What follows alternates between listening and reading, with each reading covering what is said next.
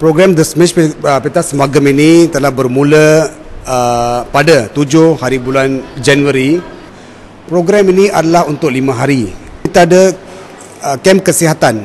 Kem kesihatan uh, saringan mata, dental, uh, untuk pemeriksaan darah tinggi, untuk pemeriksaan kencing manis dan BMI. Dan saya sebagai pakar mata dan juga pengurusi Pertubuhan Pembangunan Insan Sik Perak uh, telah uh, menjalankan uh, kem kesihatan saringan mata uh, dengan bantuan uh, Kementerian Kesihatan Malaysia uh, pasukan saya daripada Hospital Raja Pemasuri Bainun kita telah memeriksa lebih kurang 2 atau 300 orang.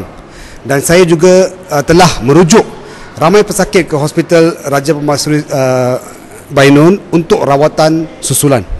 Dan uh, ini adalah satu uh, program yang begitu uh, uh, murni sekali sebab program ini adalah ini adalah tahun yang kedua kita mengadakan program Dashmesh Pita Semagam. Uh, selepas ini kita juga ada banyak program seperti program untuk kanak-kanak, uh, program kita ada uh, magic show, kita ada permainan lain untuk kanak-kanak dan pada malam ini kita ada uh, program uh, program kebudayaan, program ke keagamaan.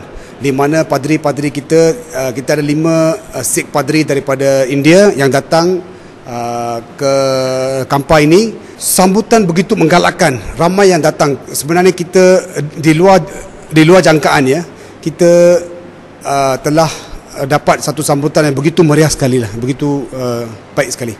Uh, pada tahun-tahun yang akan datang kita akan mengadakan program-program seperti ini.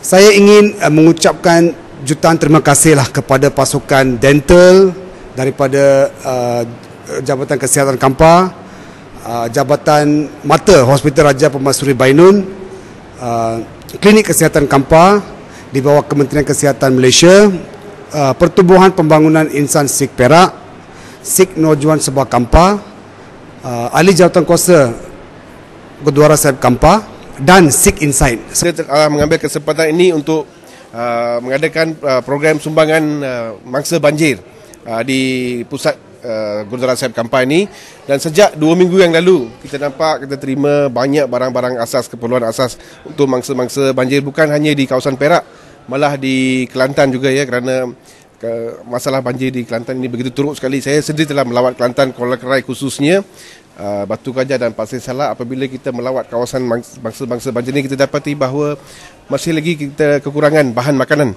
keperluan asas. So saya akan berbincang dengan pengurusi uh, Pertubuhan Pembangunan Insan Sikh Negeri Perak uh, dan telah pun melancarkan program sumbangan donation untuk mangsa-mangsa banjir.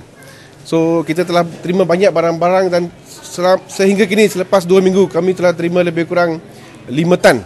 Ha 5 tan lah so kita agihkan minggu kawasan lah. Kita telah mengagihkan di Kuala Kerai Kelantan dan juga Kampung Gajah Pasir Salak dan kawasan-kawasan lain lah uh, supaya mangsa-mangsa dan banjir ini dapat kita PPS dapat memain peranan untuk membantu uh, mangsa-mangsa banjir ini yang rata-rata kita nampak bahawa kehilangan uh, dan kerugian yang amat besar.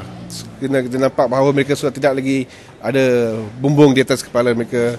Mereka duduk di tempat-tempat pusat pemindahan banjir so mereka memang memerlukan bantuan segera daripada semua pihak lah khususnya daripada NGO NGO dan kerajaan negeri so kita telah mengambil uh, uh, peluang ini untuk melancarkan uh, tabung lah tabung kita tidak menerima cash uh, no cash so Uh, semalam uh, baru berbincang dengan pengurusi PPS Dato' Dr. Sudha Singh memaknakan sekolah akan berbuka bila-bila masa. So kami telah pun uh, beritahu uh, supaya kepada orang ramai supaya uh, selain daripada memberi kita bahan makanan bagilah juga beg-beg sekolah, uh, kasut sekolah, stokin sekolah, ya, pensel ke macam tu uh, supaya kita dapat serahkan pada murid-murid uh, yang mangsa banjir lah. So next step is membeli barang-barang peralatan sekolah, prasekolah.